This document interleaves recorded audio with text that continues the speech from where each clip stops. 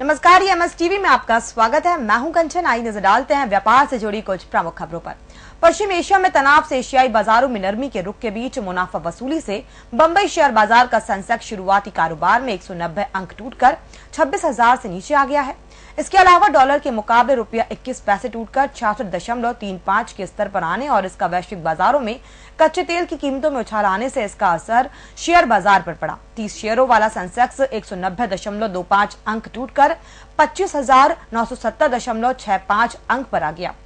NSC Nifty भी अड़तालीस दशमलव पाँच पाँच अंक की गिरावट के साथ सात हज़ार नौ सौ चौदह दशमलव छह पाँच अंक पर आ गया है। काले धन पर लगाम लगाने के लिए केंद्रीय प्रत्यक्ष कर बोर्ड ने नए नियम अधिसूचित किए हैं, जिसके तहत एक अप्रैल से निश्चित राशि से अधिक के लेन देन की सूचना आयकर विभाग को देना अनिवार्य होगा। नए मानदंड के तहत नकदी प्राप्तियों शेयरों की खरीद, म्यूचुअल फंड, अचल संपत्ति फिक्स डिपॉजिट, विदेशी मुद्रा की बिक्री की सूचना तय फॉर्मेट में विभाग को देनी होगी। वित्त मंत्रालय की अधिसूचना में कहा गया है कि पंजीयक को 30 लाख रुपए से अधिक की सभी अचल संपत्तियों की खरीद, बिक्री की सूचना आयकर विभाग को देनी होगी।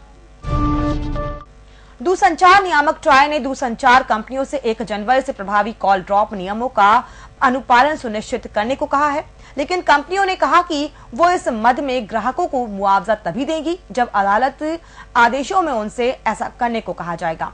आधिकारिक सूत्रों ने बताया कि ट्राई ने सभी दूरसंचार कंपनियों को पत्र लिखा है और इस उम्मीद के साथ उन्हें याद दिलाया है कि कंपनियों ने इसके अनुपालन के लिए सारी तैयारी कर ली होगी। लगता है अब भारत में डिजिटल वर्ल्ड का हिस्सा गरीब इंसान भी बन सकता है। अब वो दिन दूर नहीं, जब टीवी पर डिजिटल और सैटेलाइट से आने वाले कार्यक्रम का मज़ा अब गरीबी रेखा से नीचे के लोग भी ले सकेंगे, क्योंकि सेट टॉप बॉक्स बहुत ही सस्ती कीमत पर मिलने वाले हैं। ये सेट टॉप बॉक्स अब महज बत्तीस रूपए में उपलब्ध होंगे। इसके अलावा घरेलू कैश लाइसेंस भी बहुत कम कीमत में उपलब्ध कराया जाएगा। घरेलू विनिर्माताओं को सशक्त पहुँच प्रणाली के लिए देश में ही विकसित समाधान उपलब्ध कराए जाने से सेट टॉप बॉक्स और सस्ता हो जाएगा।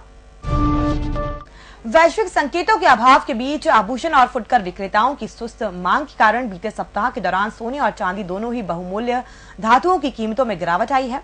बाज़ार सूत्रों ने कहा कि मौजूदा स्तर पर आभूषण और फुटकर विक्रेताओं की कमज़ोर मांग के अलावा क्रिसमस और वर्षांत की छुट्टियों के कारण अधिकांश बाजारों के मंद होने के बीच विदेशी संकेतों के नदारत होने के कारण मुख्यतः कारोबारी धारणा प्रभावित हुई है। और फ़िलहाल इस बुलेटिन में इतना ही। और भी खबरों के लिए आप बने रहिए www.emstv.in के साथ। और इसी के साथ ही आप अपने स्मार्टफ़ोन पर गूगल पे में जाकर एमएस टीवी की ऐप भी डाउनलोड कर सकते हैं। नमस्कार।